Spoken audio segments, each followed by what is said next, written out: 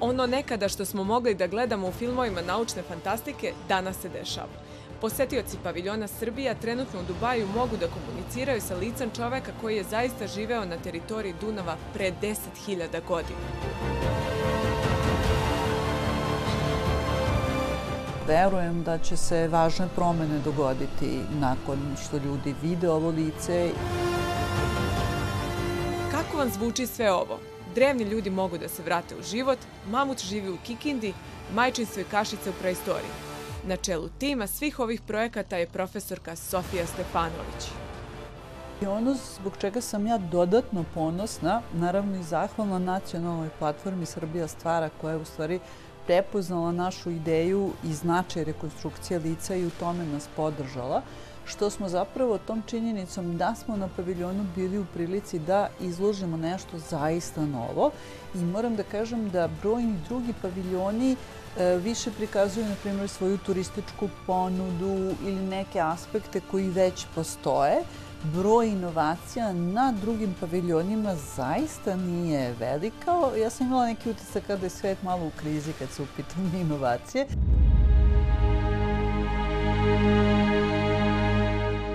Expo Dubai je mesto gde se zemlje predstavljaju u što boljem svetlu na svaki pet godina. Bogat sadržaj doveo je ogroman broj ljudi na naš paviljon. Čitav tim ljudi u prethodnoj godini radio je na tome da oživimo lice drevnog čoveka i u okviru projekta Prehistoric Metahuman mi smo zapravo iskoristili lobanju čoveka koji je živao pre 10.000 godina na teritoriji Đerdapa. Prvi korak bio je da se sama lobanja skenira i to je nešto što je neophodno za početak same rekonstrukcije lica. To uradio moj kolega Jugoslav Pendić Instituta Biosens u Novom Sadu i kada smo napravili 3D model originalne lobanje, ona je otišla u Švedsku kod Oskara Nilsona, koji je stručnjak za forenzičku rekonstrukciju i on je na osnovu kostiju lobanje, a koristeći naravno 3D model koji smo napravili, zapravo izvršio rekonstrukciju lica. Omogućeno je da ljudi koji priđu tom sada digitalnom biokinetičkom modelu sa njim komuniciraju s pomoć telefona.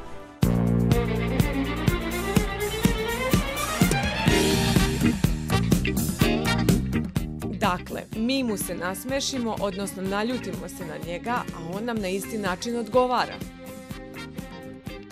Tako da je to e, s jedne strane po prvi put se desilo da je jedno drevno lice pokrenuto, ali i više od toga omogućeno je ljudima da na određeni način, za sada neverbalno, sa tim licem i komuniciraju. A da li naš preistorijski čovjek može i da zaplače? Ne suza u pravom smislu reči, jer i sama metahuman tehnologija nije, da kažemo, za sada toliko razvijena, mada pravo da vam kažem, dobra ideja, nismo isprobali da plačemo, probali smo da budemo tužni i on isprati našu tugu, isto kao i smeh i ljutnju i na taj način uh, odgovori. Ali što se suza tiče, dobra ideja, testirat ćemo. Kako bi bolje razumeli projekat MetaHuman, odlazimo u Lepenski vir gde je živeo naš preistorijski čovek. Rekoh na početku da smo doživjeli da naučnici budu zvezde i ovaj, doktorka Sofija Stefanović sad to pokazuje.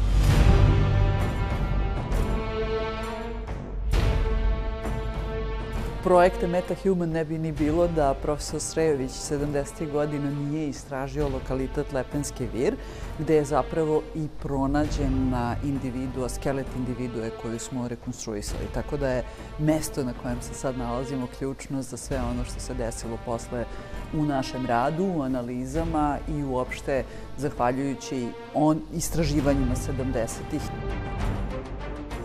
Naučne analize ljudskih kostiju pružile su obilje podataka o tome koliko je on bio star, kojim fizičkim aktivnostima se bavio, čime se recimo hranio, dok su, na primjer, analize, genetske analize, mogle da nam pruže podatke o tome e, kakve su, kakva je boja kose, kože ili očiju.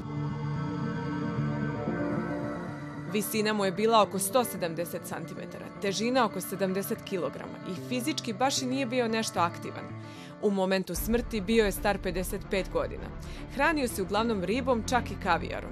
Složit ćete se, bio je i lep.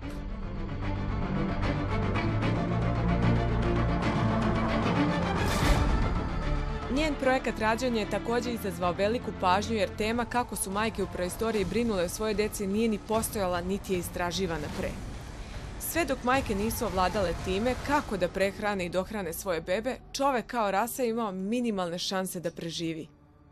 I moja najstarija sestra Jelka je često nama mlađim sestrama pričala priče o praistoriji, uglavnom o mamama i bebama i najvažnije izume praistorije ona objasnila kao posljedicu brige mama o njihovoj deci. Da su one pripitomile biljke ili smislile kako da održe vatru da bi zaštitile svoju decu i ja sam naravno verovala u te priče i to jako živo zamišljala sa neolitom, sa novim načinom proizvodnje pripitomljenih biljaka i pripitomljenih životinja desio se preokret kad je u pitanju materinstvo, zato što su tada mame mogle kraće da doje svoju decu i mi smo izotopima utvrdili koliko su dojena neolitska deca i pokazale su da su neka deca upravo ovde sa Đerdapa, na primjer sa lokaliteta Imana, dojena svega šest meseci.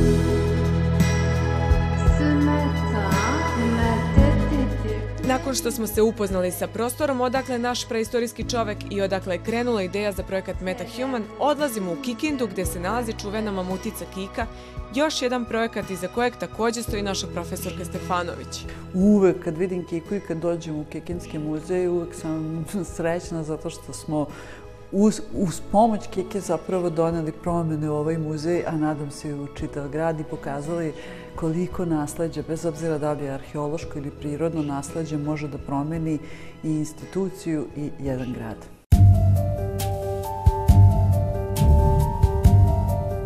Kad sam u Kikinskom muzeju radila na materijalu samokrina za svoj doktorat, prosto sam znala da je u Tozi Marković pronađen skelet u glinokopu, dakle 20 metara duboko, ali nije bilo moguće da taj skelet vidimo jer je on prosto boravio u fabrici. I kad sam uz pomoć današnje direktorke Lidije pokušala da vidim skelet, shvatila sam da on nije dostupan javnosti. Rad sa Sofijom je pre svega uvek jako pozitivan. To je ono što mogu odmah da kažem vezano za bilo kakvu saradnju sa Sofijom a uvek je neko, uvek je konstruktivan i uvek je pozitivan i u najvećem broju slučajeva on rezultira stvarno jednim sjajnim ishodom. I kada smo konačno dobili dozvolu i videli skelet, mi smo zapravo uh, u tom trenutku ostili neki unutrašnji poriv da nešto uradimo i da skelet pomerimo iz fabrike i donesemo ga u grad, u muzej i da omogućimo svim ljudima da vide ovaj zaista jedinstven nalaz u Evropi, pošto je skelet kike gotovo 99% sačuvan, što je vrlo redko kad su u pitanju ovako stari paleontološki nalazi.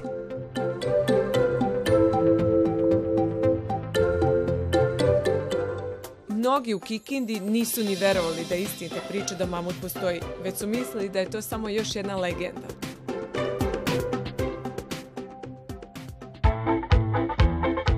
Kika je upravo naučila nju i njene saradnike kako se pišu projekti za tako velike poduhvate, ali kako se rade 3D rekonstrukcije tako da smo mi već tada, da kažem, na ovom primeru neke buduće ideje zašto je bitno iskoristiti skelet za 3D rekonstrukciju, zapravo e, početni neki koraci su upravo vezani za nju, kao i projekti, tako i e, same 3D rekonstrukcije. Tako da je e, Kika na ozbiljan način utemeljila dalji razvojni put svega onoga što sam ja dalje radila.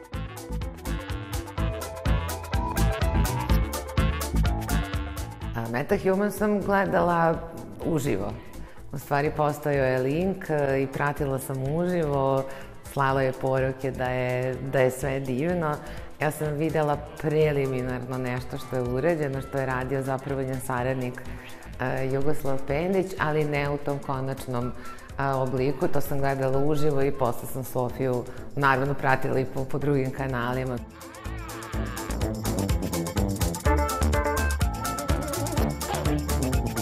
Nastup Srbije na ovogodišnjem Expo fokus stavlja inovacije i kreativni sadržaj naših domaćih naučnika i firmi. I ono što je jako bitno jeste da mi nastavimo kontinuitet predstavljanja inovacija i zbog toga u stvari Expo je odlična prilika da Srbija predstavi svoje dostignuće u oblasti kreativne industrijama u svim mogućim aspektima.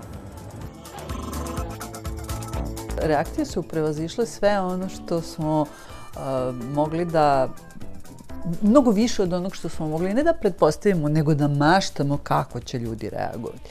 Mi smo se kao tim jako radovali da završimo i da to predstavimo čovečanstvu i u tom trenutku dok razvijate nešto i dok gledate prototip, vi imate neko zadovoljstvo jer verujete da je to dobro, ali nemate nikakvu ideju kako će ljudi da reaguju. Za sve ljude koji su prišli našem čoveku bilo potpuno impresivno, ali i emotivno. To je moment koji možda nismo očekivali ili nismo se nadali da će ljudi na tako emotivan način reagovati i kada se e, dovedu u, u mogućnost da vide drevnog čoveka kada pokazuje svoje emocije i u tom smislu reakcije su zaista, da kažem, sad ne pričam o ovom profesionalnom aspektu koji je isto jako dobro prošao, ali na emotivnom nivou to je nešto što nas je zaista uh, veoma, veoma dirnulo. Davno je Tesla svoje izume predstavljao javnosti na ovakvim svetskim izložbama. Sada su tu neki novi projekti, koji će nakon premijere definitivno napraviti zaokret u celom svetu. Ponosno možemo reći da Srbiju na Expo Dubai predstavljaju najbolji od nas.